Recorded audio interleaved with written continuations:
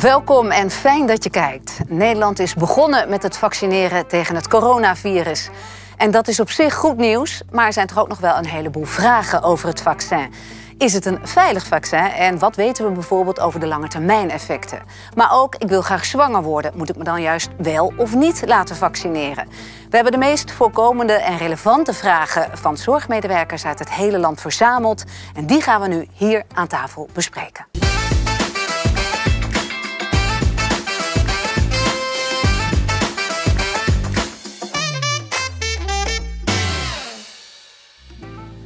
Ja, en dat doe ik met Cecile van Els, hoogleraar vaccinologie bij de Universiteit Utrecht en immunoloog bij het RIVM.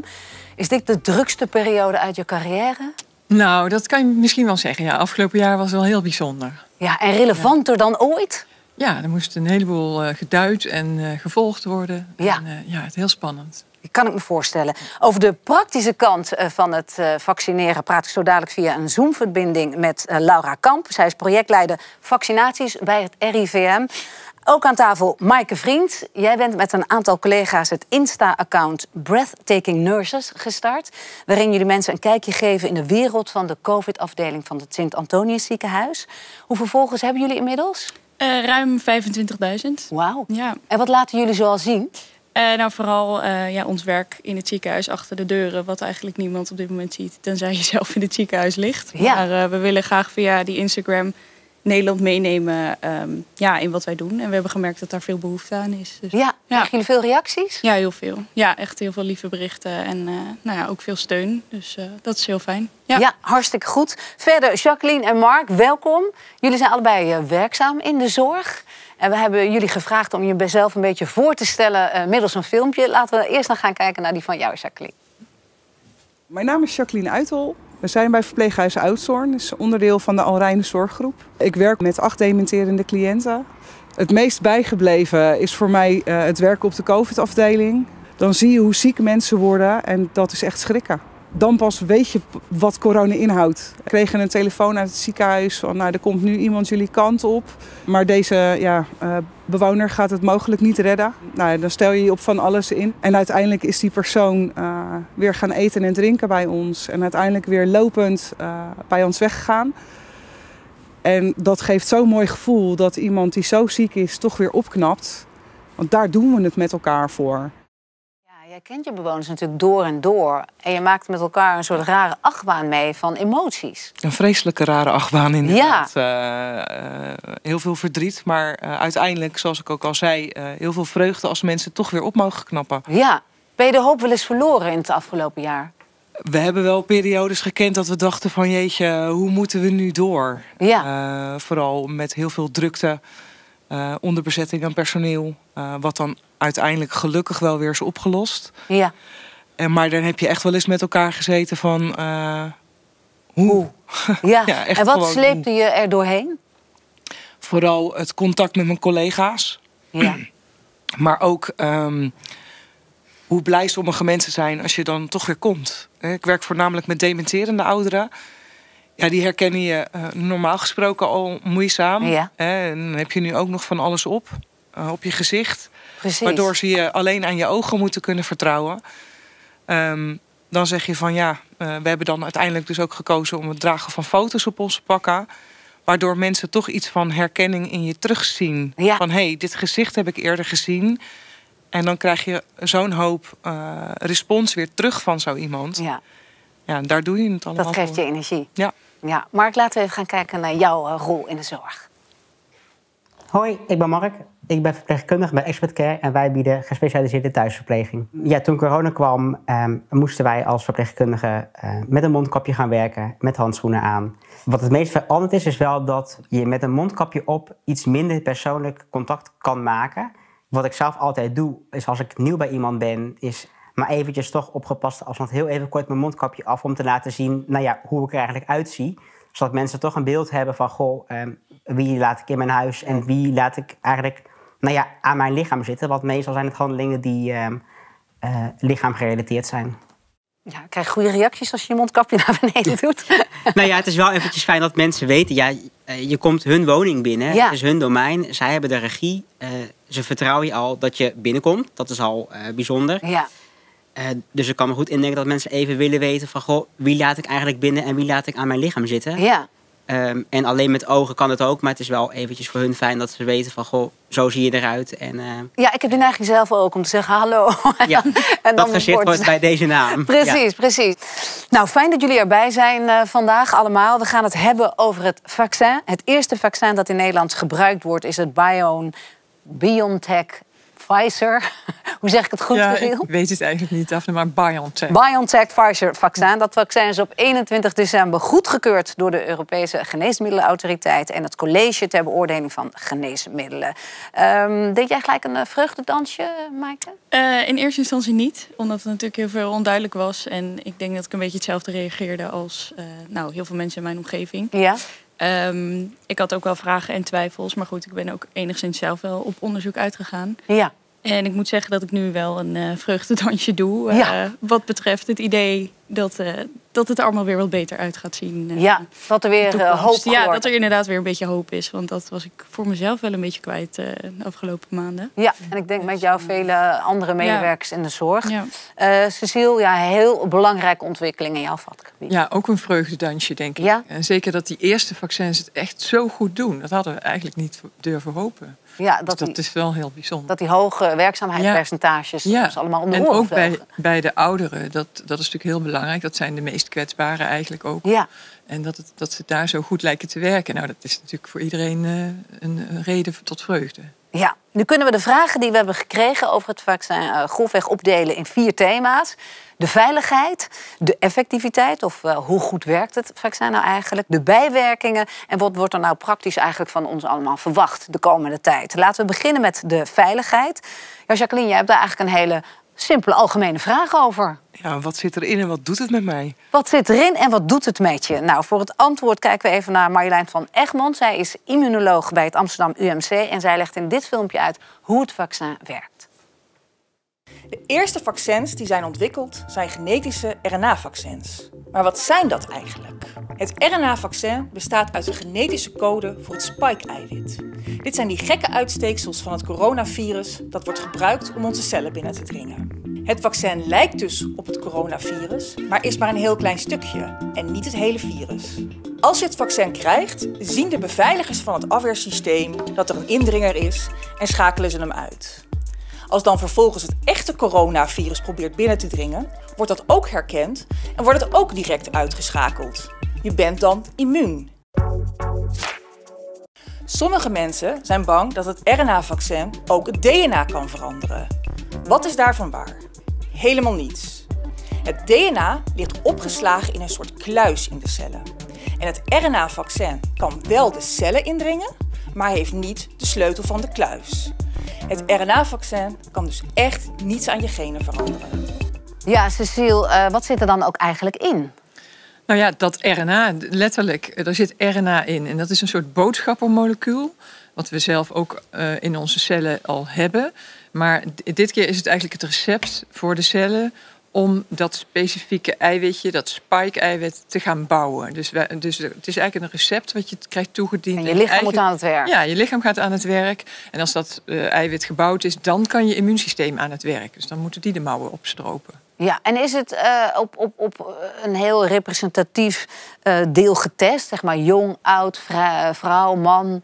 Nou, het is op een hele grote groep getest, meer dan 20.000 mensen. En, inmiddels is het ook al bij meer dan anderhalf miljoen mensen toegepast. Hè, omdat dit vaccin al is toegelaten in andere landen. Ja, en dat ze daar, al zijn begonnen. begonnen. Dus we weten eigenlijk al best wel veel. Maar op die testgroep, uh, daar is het getest op uh, jong, oud, uh, man, vrouw. En zelfs ook op groepen met uh, stabiele onderliggende chronische ziekten. Dus niet, het zijn eigenlijk relatief gezonde, dat dan weer ja. wel. Maar stabiele uh, aandoeningen, die zaten daar ook bij. Dus daar is ook spe speciaal naar gekeken door de beoordelaars... van hoe goed heeft het vaccin het nou daar gedaan... en wat waren daar de bijwerkingen. Ja, en kwamen nog hele gekke dingen naar boven... toen in Engeland en zo al begonnen waren met dit vaccin? Nou, wat, wat, uh, nou je doelt misschien op de, dat bij een van de eerste groepen in Engeland... dat er, dat er wel twee nou, anafylactische shocks of een allergische reacties zijn gevonden. Maar dat is eigenlijk heel uitzonderlijk uitzonderlijk geweest. Want nu verder op die anderhalf miljoen die het vaccin al gehad Geen- hebben, hebben we dat eigenlijk niet gezien. Het heeft er wel toe geleid dat we wel goed moeten opletten. Mensen die allergische reacties hebben, die dat ook weten van zichzelf, moeten sowieso natuurlijk even, even in de gaten houden wat er gaat gebeuren. Maar mensen worden ook een kwartiertje geobserveerd. Dus- als het vaccin wordt toegediend, nemen we even de tijd om hele Wat gekke dingen meteen te kunnen begin. opvangen. Ja. ja. Ja. Jacqueline, is dat genoeg antwoord op jouw vraag? Ja, ja. Ja? Duidelijk verhaal. Duidelijk wat er in je lichaam wordt gebracht. Ja. Ehm, dan de vragen die gaan over de effectiviteit van het vaccin. Oftewel, hoe goed werkt het?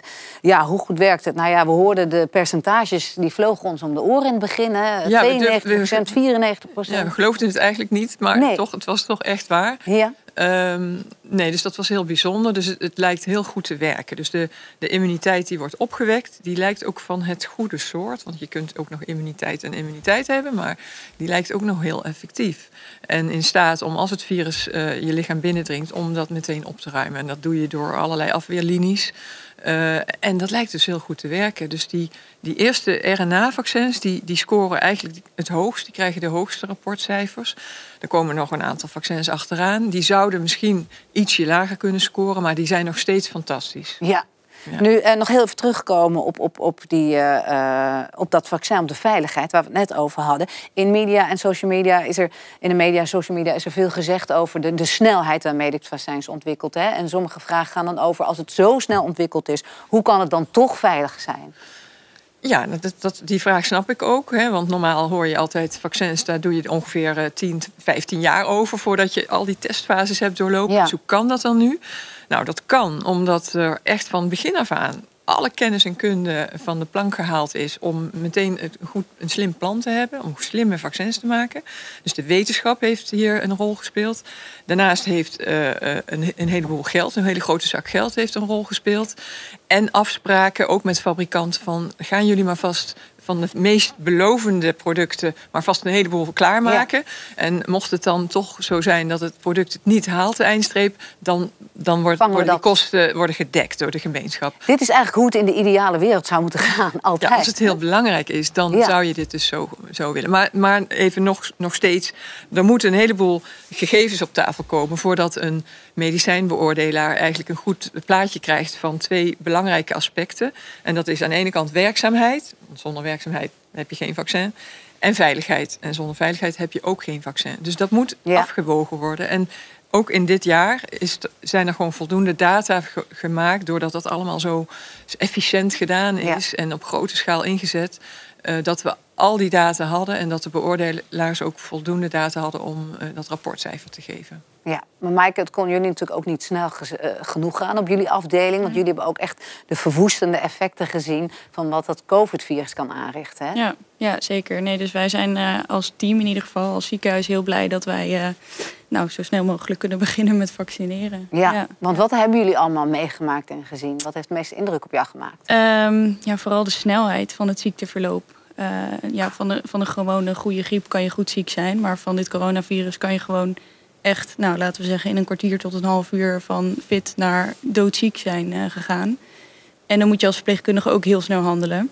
Ja. Dus wat dat betreft zijn onze werkzaamheden ook, eh, nou ja, wat dat betreft veranderd. Je moet veel sneller nadenken. Ehm, en daarbij ha- hadden we in het begin eigenlijk niet zoveel ruimte voor emoties, omdat alles toen nieuw was en werkte op adrenaline. En je wil zo goed mogelijk die zorg leveren. Ja, Eh, en we merken nu we nou, bijna een jaar verder zijn, dat we eigenlijk allemaal eh, emotioneel wel een stuk ehm, nou ja, slechter aan toe zijn, wil ik niet zeggen. Maar je moet het alsnog verwerken. ja, en dat verwerken, dat merken we eigenlijk pas dat dat nu de laatste maanden pas ehm, nou ja, gebeurt. Ja. En dat we het begin van het jaar gewoon maar door zijn gegaan. En dat we nu merken dat we wel een beetje tegen het einde van ons eh, kunnen aanzitten. Ja, dat we eigenlijk nu heel blij zijn dat we enigszins weer hoop hebben op nou ja, wat, wat verlichting van de druk die we voelen. Precies, Ja. en dat je dan pas kan beginnen eigenlijk aan je eigen Ja, herstel nou, ja, van wat je hebt meegemaakt. Ja, Ja. ja. Ja, Ja. Ook arts oudere geneeskunde in opleiding Marten die heeft een vraag en wel over de werkzaamheid van het vaccin. Laten we even gaan kijken. Hoi allemaal, ik ben Marten Holtmaat. Ik ben arts in opleiding tot specialist ouderengeneeskunde. En wat ik mij afvraag over het vaccin is, eh, hoe lang denken of verwachten jullie dat het vaccin werkzaam is zodra je het hebt gekregen? Nou, ik ben erg benieuwd naar het antwoord. Doei doei! Ja, En dan gaan we ervan uit dat je dus de twee prikken hebt gehad. Mhm. Dan start de werkzaamheid. Of in ieder geval de volledige werkzaamheid. Nou ja, het eerlijke antwoord is dat weten we niet precies. Hè, want we hebben ook nog niet heel lang kunnen eh, kijken naar de werkzaamheid. Maar als je kijkt naar wat, wat er eh, aan immuunresponsen gemeten wordt bij mensen. Eh, eh, dan, en naar de werkzaamheid op korte termijn, dan verwacht ik dat het immuunsysteem zich heel goed heeft voorbereid op de komst van het virus. En dat je toch wel, ik denk twee tot drie jaar mag verwachten dat je normaliter immuun zou zijn. Ja. Dus langer dan bij een griepvaccinatie, waar ook nog een keer een rol speelt natuurlijk dat het virus wat sneller verandert. En dat je sowieso eh, een, een, een andere prik nog weer moet krijgen een, een seizoen later. Maar Ja. dat verwacht ik hier niet. Mark, je hebt ook een, een vraag hè, over de effectiviteit. Ja, stel dat ik ben eh, gevaccineerd, ehm, kan ik dan alsnog mijn ehm, nou ja, naasten of patiënten, cliënten eh, besmetten? Of is die klant heel eh, klein? Ja, ik, ik, kijk, je bent zelf wel beschermd. Hè? Als we even van uitgaan dat, dat hele hoge effectiviteit is 95%, dan is een hele grote kans dat jij gewoon beschermd bent. Dan zul je zelf de virusproductie enorm indammen. Dus ik vermoed wel dat er ook een effect zal zijn op de besmettelijkheid. Hè? Dus het, het, het virus dat je zelf weer door kan geven. Maar dat is niet in de studies meegenomen. Althans niet bij de RNA-vaccins. Daar weten we dat eigenlijk nog niet zo goed. Van een ander vaccin wat zeg maar, in aantocht is, hebben ze wel gemeten of mensen nog eh, virus in de, in, in de luchtwegen zouden kunnen dragen als ze gevaccineerd zijn. En dat lijkt dus een heel gunstig effect van vaccinatie. Dus ik ben eigenlijk heel hoopvol dat Ja. ook de andere vaccins dat ook kunnen. En dat gaan we natuurlijk pas zien als we het grootschalig gaan toepassen. Ja, dat is misschien ook het antwoord op de volgende vraag die ook leeft bij zorgmedewerkers. Moet ik de maatregelen nog naleven als ik gevaccineerd ben en we blijven testen? Dat, eh, het is dus ook weer niet zo gunstig dat we kunnen zeggen... je bent eenmaal gevaccineerd en dan kan je alles loslaten. Nee, ik denk niet meteen. Het antwoord is gewoon dat dat, dat heeft even tijd nodig. We moeten dat rustig uitfaseren. Die maatregelen zijn nu nog nodig. Ja? Eh, je moet je voorstellen, je vaccineert mensen en dat is voor die personen zelf een bescherming. Maar een heel belangrijk effect is eigenlijk het indirecte effect. Dus hoe Ja. meer mensen eigenlijk immuun worden, dan worden we allemaal steentjes die samen een hele grote dam vormen, een Ja. grote dijk van immuniteit tegen het virus. En hoe steviger die dam wordt, hoe beter we eigenlijk iedereen beschermen en hoe moeilijker het voor het virus wordt om überhaupt Ja. nog eh, te circuleren. Maar dat betekent wel dat bijvoorbeeld eh, Jacqueline straks nog wel met een mondkapje op haar werk zou dat zal doen. heel Ook raar ze- zijn, Ja. eventjes. Maar we moeten gewoon, denk ik, de, de, het verhaal erbij vertellen. Van dit moet nu nog. Ja. Maar we gaan dat wel af, afbouwen. Want op een gegeven moment gaan we merken aan de cijfers... Dat het niet meer dat het gaat werken. Dat Ja. we met die dijk van immuniteit het virus bestrijden. Maar Jacqueline, is het dat, had jij misschien anders op gehoopt of niet? Nou ja, natuurlijk. We, hopen allemaal eh, dat je er zo snel mogelijk weer mee mag stoppen. Ja. Maar eh, een heel duidelijk verhaal eh, dat we dus nog even door moeten. Ja, Ja. En als we het met elkaar doen, dan Ja, hoe sneller het dan voorbij hoe is. sneller het weer voorbij is inderdaad. Ja, daar heb je helemaal gelijk in. Dan ehm, heeft Luca ook nog een vraag die leeft onder haar collega's... en waar ze graag een antwoord op zou willen. Laten we even kijken. Ik ben Luca en ik ben werkzaam in de gehandicaptenzorg. Ik zelf laat mij wel vaccineren, maar onder mijn collega's zijn er toch nog wel veel vragen. En een van die vragen is onder andere: stel dat ik het coronavirus al heb gehad, is het dan verstandig om mij alsnog te laten vaccineren? Ja, er zijn natuurlijk al een aantal mensen Mhm. die het coronavirus hebben gehad. Die zijn er vanaf, zou je denken. Ja, je zou denken dat die immuniteit hebben opgebouwd. Dat zal ook voor een groot deel eh, zeker het geval zijn. Maar we hebben ook gezien dat er heel groot, grote spreiding in zit. Dus mensen die Ja. eigenlijk helemaal geen last van hebben gehad... en ook maar heel weinig antistoffen bijvoorbeeld hebben gemaakt... tot mensen die juist een hele heftige immuunrespons hebben gehad... en er ook weer heel ziek van zijn geworden. Dus daar zit alles tussenin. Eh, We weten eigenlijk niet zo goed eh, wat dat al echt aan bescherming eh, biedt. Dus om nu, het is natuurlijk een goed idee. Eerst mensen testen of ze wel wat antistoffen hebben Ja. en dan misschien uitstellen. Maar dat is natuurlijk heel onpraktisch. Dus ik ben er voorstander van, en dat is denk ik ook wat er nu gebeurt. Gewoon mensen het vaccin aanbieden, omdat je dan iedereen eigenlijk weer eventjes reset. Iedereen krijgt dan dezelfde immuniteit, Precies. min of meer. En zitten dan- we allemaal op hetzelfde niveau na een Ja. vaccinatie. En, en ik denk op een beter niveau. Heel goed. Ehm, tot slot, een vraag over het muteren. Heeft vaccinatie nog zin met al die nieuwe vormen van corona? Misschien vraag je je af, wat nou als het virus verandert? Nou, een virus verandert eigenlijk altijd. Dat noemen we muteren. Het griepvirus is een kampioen in veranderen.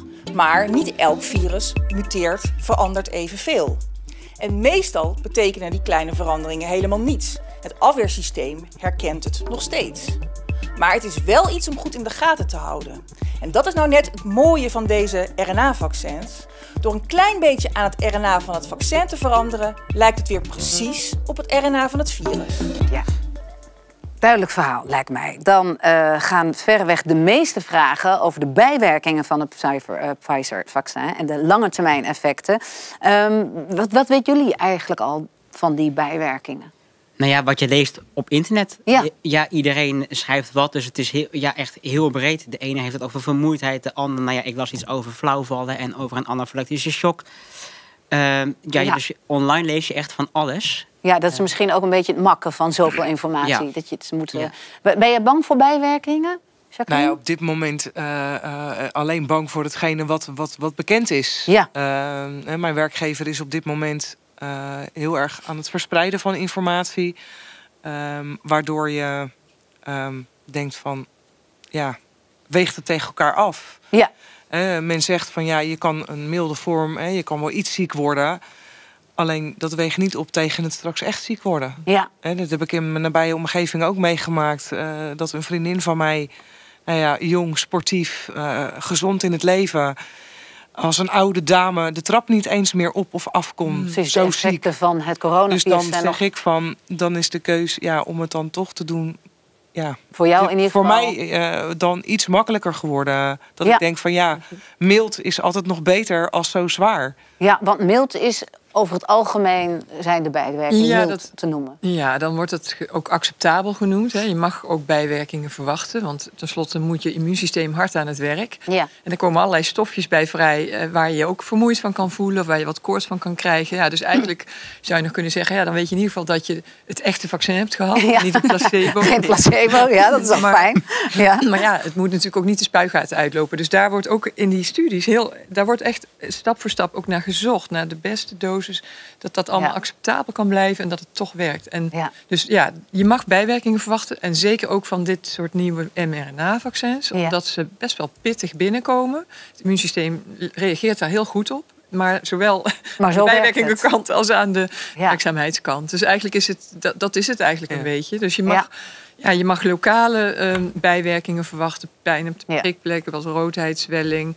Wat systemische um, klachten, zoals koorts en, en, en vermoeidheid, hoofdpijn. Ja. Dus um, ja, bereid je er gewoon op voor. Uh, neem eventueel een paracetamolletje uit voorzorg. Dat kan allemaal geen kwaad. En, uh... Want Maaike, we weten eigenlijk ook niet zoveel over de lange termijn effecten van het hebben van het COVID-virus. Nee, nou ja, wat, je, wat ik hoor in mijn omgeving en wat ik ook wel uh, weet van patiënten is dat ze er uh, nou, tot zes maanden nadat ze uh, ziek zijn geweest nog vermoeid kunnen zijn bijvoorbeeld. Ja.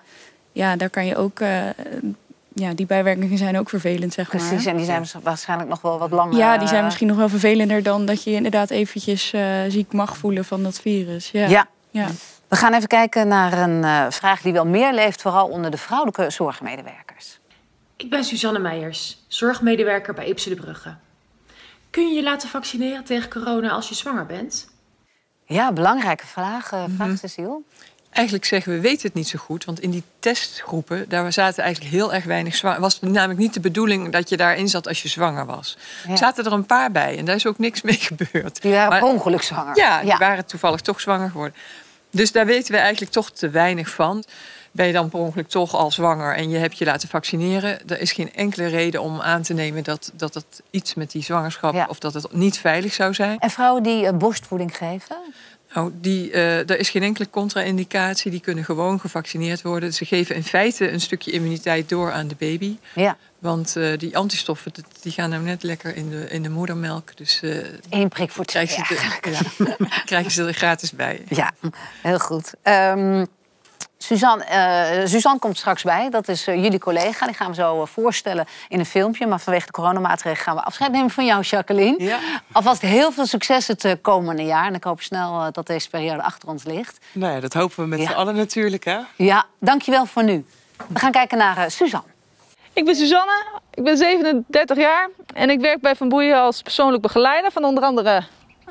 ben Kim, Ehm, wat het afgelopen jaar heel ingewikkeld is geweest, is dat familie eh, niet bij hun kinderen op bezoek kon. En we hebben uh, het beeldbellen, uh, het FaceTime geïntroduceerd. Wat dat voor sommige cliënten en voor sommige verwanten wel een nieuwe ervaring was. Maar wel heel veel toch het contact iets dichterbij kunnen halen. Door wel gewoon te kunnen kletsen en elkaar te kunnen zien.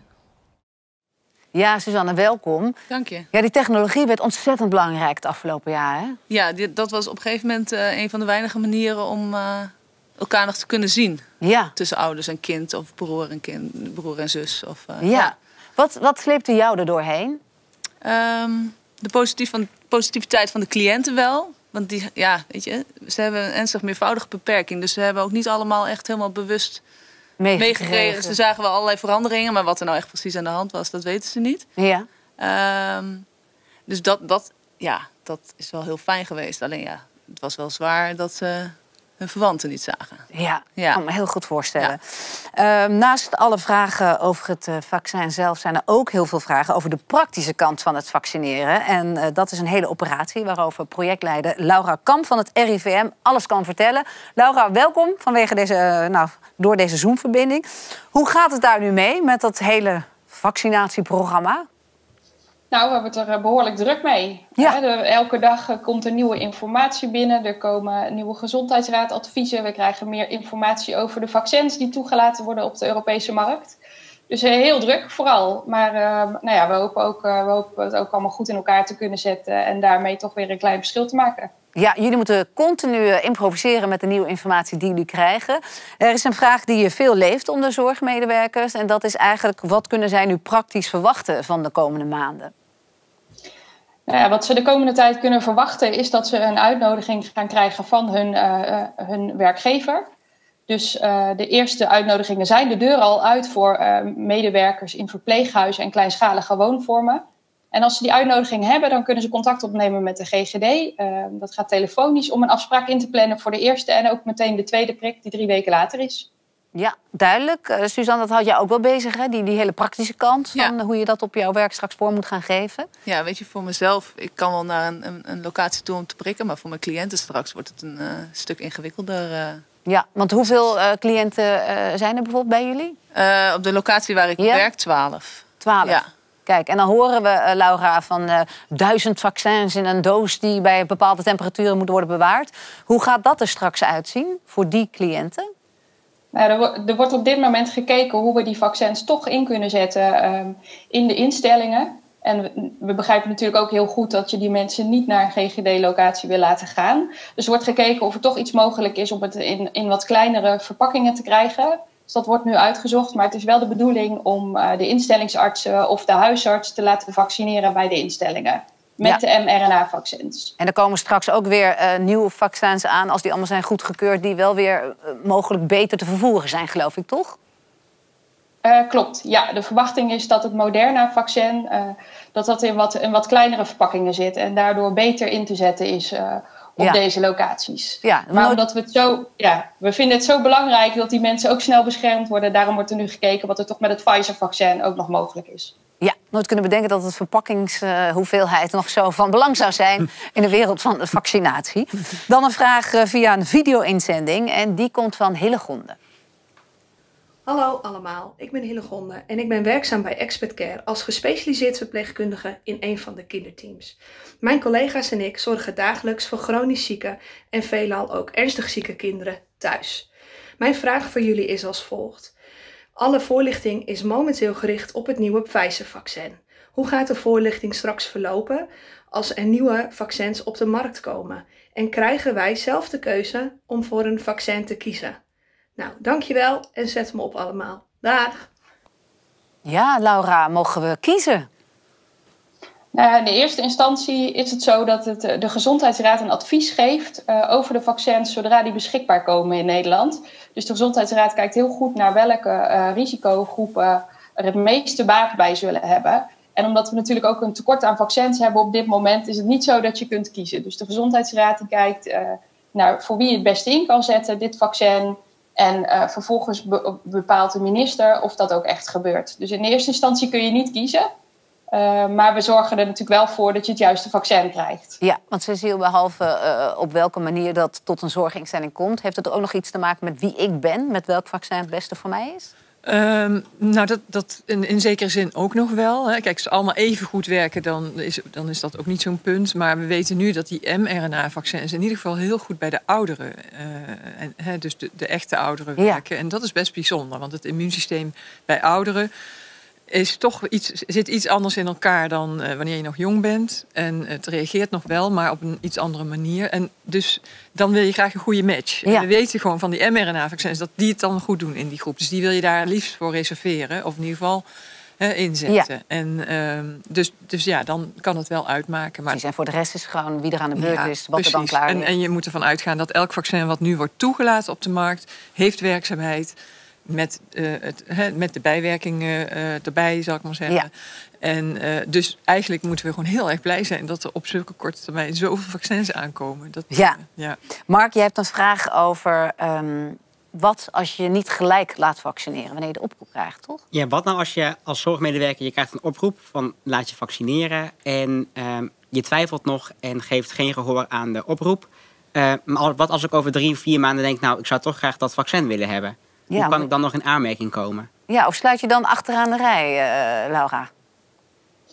Nou, bewaar in ieder geval heel goed je uitnodiging. Die heb je nodig om een afspraak te maken. En je mag zeker ook gewoon op een later moment een afspraak maken. Dus dan kun je gewoon de GGD bellen om alsnog een afspraak te maken voor je vaccinatie. Ja, oké. Okay, dus je hoeft niet helemaal achteraan te sluiten. dus, uh, um, Maaike, er zijn ook veel vragen van mensen die zeggen... ja, ik ben jong en gezond en ik wil me niet onnodig laten vaccineren. Laten al die zwakke oudere mensen dat doen en dan wandel ik er wel doorheen. Merk jij dat dat ook een beetje speelt in jouw omgeving? Um, nou, eigenlijk niet echt. Uh, vooral ook, ja, in mijn team wil iedereen zich heel graag laten vaccineren. En wij dragen dat denk ik ook heel erg uit naar onze families. Ja. Uh, ja, en mijn familie weet de ellende die ik heb gezien, daar heb ik natuurlijk ook met hun gedeeld. Um, dus in mijn omgeving moet ik eerlijk zeggen dat ik dat nog niet zo heb gehoord. Dat mensen juist wel positief zijn om het te nemen, zodat we nou ja, ook weer een beetje kunnen leven, zeg maar. Precies, Sociaal leven ja. kunnen opbouwen weer. Dus, ja. ja want Cecile, ja. waarom is het toch belangrijk voor die jonge, gezonde mensen? Ja, kijk, ze hoeven het misschien niet zozeer om zichzelf te beschermen... als ze het risico willen nemen om ziek te worden. Maar dan komt die tweede uh, pijler komt eigenlijk toch nog om de hoek. Zou je het dan wel willen doen? Ook om te helpen om die dijk te bouwen. Om die, hè, die gezamenlijke immuniteit op te bouwen. Dus daar is het denk ik ook nog steeds een hele belangrijke afweging. Zou je daaraan willen bijdragen? Ja. Dus uh, juist hebben we dan de jonge mensen ook nodig. Want dat is een hele grote groep. Die zien elkaar, die hebben heel veel contacten. Daar kun je het virus nou net heel erg mooi uh, indammen. Als je, als je die groep echt immuun maakt. Ja. Duidelijk, we hebben denk ik een heleboel uh, vragen kunnen beantwoorden in deze uh, korte tijd. Uh, Suzanne, hoe, hoe, kijk jij naar de komende tijd?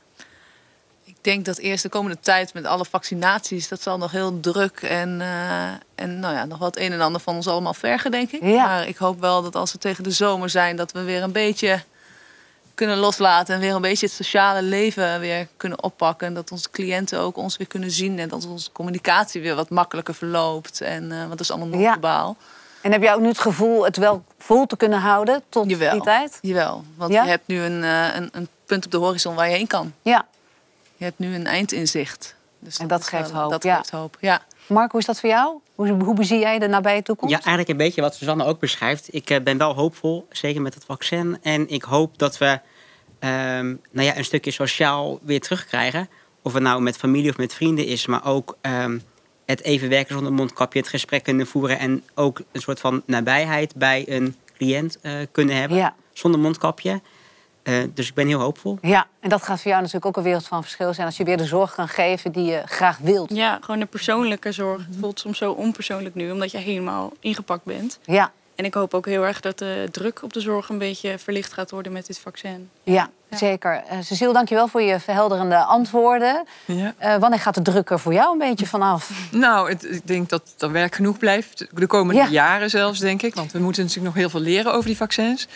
En ik ben zelf ontzettend blij dat, dat we nu echt kunnen gaan beginnen met vaccineren. Ja. Ik heb het natuurlijk niet zo als, als jullie hier aan tafel aan de lijve eh, ondervonden hoe het is om met zieke mensen te moeten werken of om mensen te beschermen tegen dit, dit virus. Ja. Eh, Dus ja, hoe eerder daar een, eh, een beetje verlichting in komt, hoe beter, denk ik. Dus daar kijk ik echt naar uit. Goed, dankjewel. Dankjewel Laura. Heel veel succes de komende tijd. Het gaat een drukke periode worden. Dankjewel voor je eh, toevoegingen. Ja, eh, dat is het eh, voor nu. Het kan natuurlijk zijn dat je thuis nu denkt... mijn vraag is niet beantwoord. Ga dan ook vooral naar eh www.coronavaccinatie.nl, naar de website. Daar staat meer informatie. En je kunt ook gewoon bellen naar 0800 1351. Dus 0800 1351. Ik wens jullie allemaal heel veel gezondheid. Dankjewel voor het kijken.